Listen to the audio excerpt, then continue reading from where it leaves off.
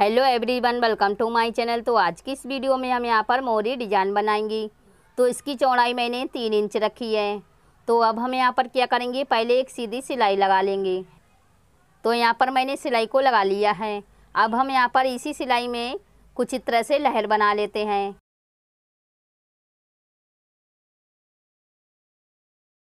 तो हमने यहाँ पर एक तरफ़ से कुछ इस तरह से सिलाई को लगा लिया है। और इसी तरीके से हमें दूसरी तरफ़ भी सीधी सिलाई लगाकर इसमें लेयर बना देनी है। अब हम यहाँ पर एक बड़ी सी कुछ इस तरह से लेयर बनाएँगे। तो इस तरह से निशान लगा लेते हैं। तो हमने निशान लगा दिया है और इसी निशान के ऊपर हमें कुछ इस तरह से सिलाई लगानी है।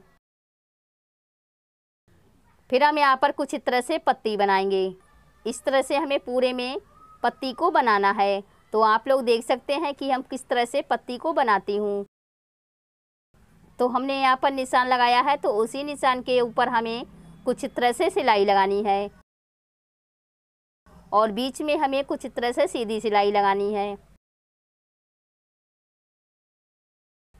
अब हम यहाँ पर सिलाई के ऊपर सिलाई लगा देंगे और यहाँ पर दूसरी पत्ती बना लेंगे।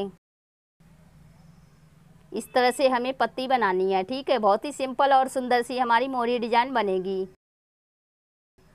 इसमें भी हमें बीच में सिलाई लगा देनी है इस तरह से। और यहाँ पर सिलाई के ऊपर सिलाई लगा लेंगे। और यहाँ पर तीसरी पत्ती बना लेंगे। तो इसी तरीके से हमें पूरे में पत्ती को बना लेना है। और दोस्तों प्लीज़ इस वीडियो को लाइक भी कर देना, क्योंकि आप लोग लाइक करना भूल जाते हो। तो प्लीज़ इस वीडियो को ज़रूर लाइक कर देना।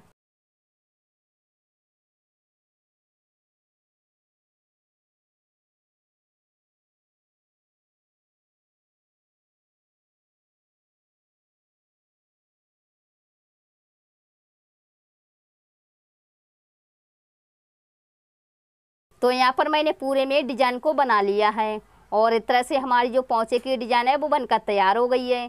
तो उम्मीद करती हूँ कि ये वीडियो आपको ज़रूर पसंद आई होगी। पसंद आई है तो लाइक से सब्सक्राइब करना ना भूलें और बेल आइकन को भी दबा दें, जिससे जो हमारी आने वाली वीडियो है, वो आप लोगों को सबसे पहले मिलेगी। तो मैं मिलती हूँ अगली वीडियो में। तब तक के लिए बाय बाय आखिर तक वीडियो देखने के लिए थैंक यू।